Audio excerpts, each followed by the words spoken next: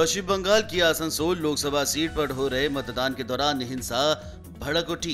BJP के उम्मीदवार Agnimitra Paul ने आरोप लगाया है कि, कि टीएमसी के लोगों ने हम पर हमला किया है। वहीं जब टीएमसी उम्मीदवार शत्रुघ्न सिन्हा ने कहा कि उन्हें नहीं पता कि अग्निमित्र पॉल की कार पर हमला हुआ है या नहीं तो इस पर जवाब देते हुए पॉल ने कहा कि शत्रुघ्न सिन्हा से कहो मुझे कॉल करने। मैं उन्हें बताऊँगी कि हमला हुआ है या नहीं।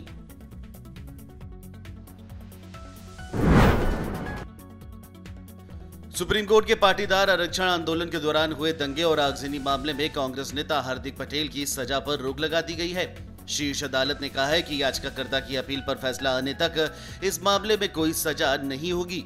वहीं शीर्ष अदालत ने हाईकोर्ट को भी सलाह देते हुए कहा कि मामला सुप्रीम कोर्ट में है, इसीलिए दोष सिद्धि होने तक आपको सजा पर रोक लगानी चाहिए।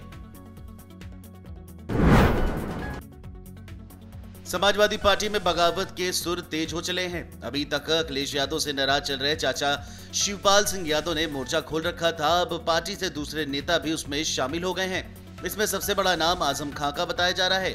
तो क्या आज़म खान, उनके बेटे अब्दुल्ला आज़म भी समाजवादी छोड़ सकते हैं?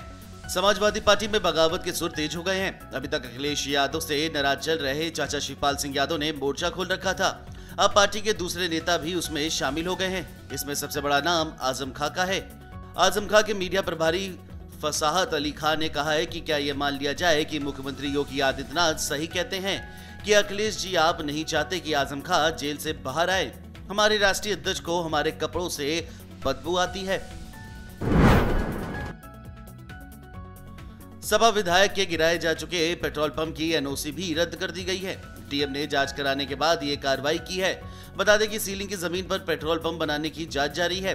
शहजेल इस्लाम पर एनओसी के लिए कई तथ्य छिपाने का भी आरोप लगा है।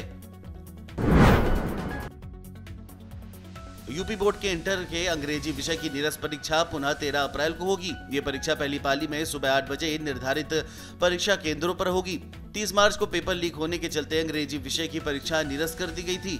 परीक्षा निरस्त होने से परीक्षा केंद्र पर पहुँचे परीक्षार्थियों को काफ़ी मायूसी हुई थी। स्थानीय प्राधिकारी निर्वाचन क्षेत्र से विधान परिषद की 36 सीटों के चुनाव में बीजेपी ने ज़बरदस्त जीत दर्ज की है। बीजेपी के खाते में 36 में से 33 सीटें आई हैं। भाजपा को विधान परिषद में पूर्ण बहुमत मिला है। विधान परिषद की 9 सीटों पर भाजपा के उम्मीदवार पहले ही निर्विरोध निर्वाचित हो चुके हैं।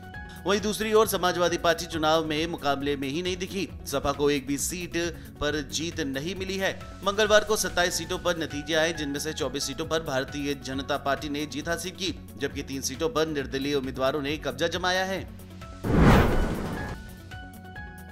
उत्तर प्रदेश में भारी बहुमत के साथ दोबारा बीजेपी की सरकार बनाकर हथियार रचने वाले मुख्यमंत्री योगी आदित्यनाथ ने सोमवार को राष्ट्रपति रामनाथ कोविंद, प्रधानमंत्री मोदी गृह मंत्री शाह से मुलाकात की। उन्होंने इस दौरान पीएम से राज्य के विकास से जुड़े विभिन्न मुद्दों पर बात की।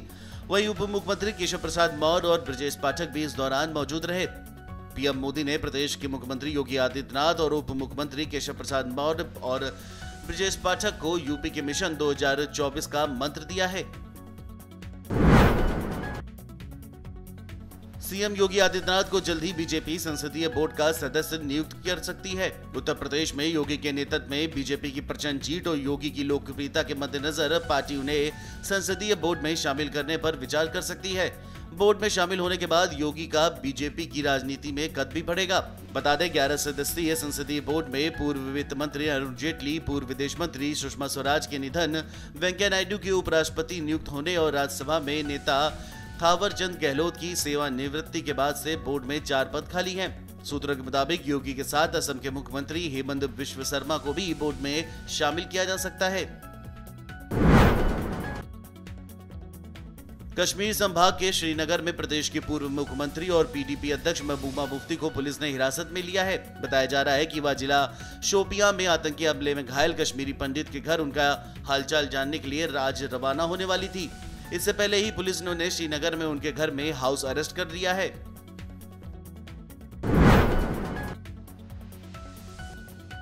पंजाब के मुख्यमंत्री भगवंत मान मंगलवार दोपहर तीन बजे दिल्ली के मुख्यमंत्री अरविंद केजरीवाल से मुलाकात करेंगे। सूत्रों के मुताबिक, पंजाब में जल्द ही केजरीवाल की पहली गारंटी 300 यूनिट मुफ़्त बिजली का ऐलान हो सकता है। पंजाब में 300 यूनिट फ्री करने के लिए मिशन बोर्ड पर पूरी तैयारी चल रही है। सोमवार को मान ने पंजाब के वरिष्ठ अधिकारियों से मुलाकात की। वही मंगलवार को भगवंत मान, राष्ट्रपति रामनाथ कोविंद और उपराष्ट्रपति से भी मुलाकात करेंगे। डाउनलोड करें अमर उजाला ऐप और पाए खबरें लगातार। अगर आप ये वीडियो YouTube पर देख रहे हैं तो हमारे चैनल को सब्सक्राइब करें और बेल आइकन को दबाना ना भूलें। अगर आप Facebook पर यह वीडियो देख रहे हैं तो हमारे पेज को लाइक करें।